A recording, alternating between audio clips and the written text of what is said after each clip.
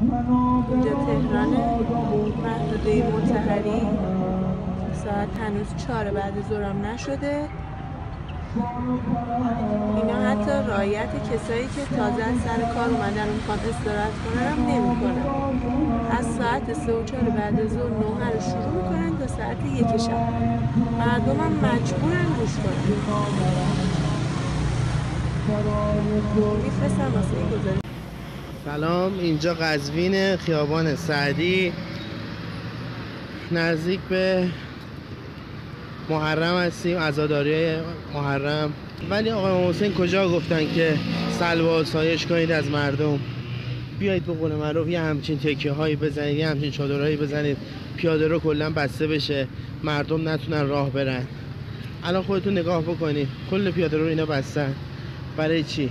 فقط یه راه گذاشتن برای یک نفر که از اینجا راه بره از اینجا رد بشه. ما بقیه باید تو خیابون رد بشن. احتمال تصادف وجود داره. خیابون هم که شلوغ.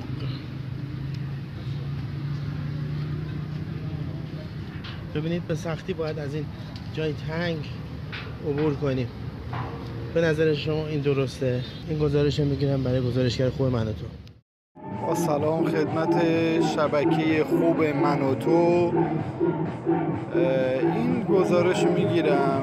از این وضعیت این هیئت رو می‌بینید که اصلا نمی‌دونم ملاحظه مردم رو نمی کنن به هیچ وجه. اینم وضعیت کوچه است. کوچه رو مشاهده می‌کنید بعد با این صدای بلند اینا دارن پخش می‌کنن متاسفانه. مردم الان ساعت یه رو به یازده است و این همچنان داره سر و صدا می‌کنه.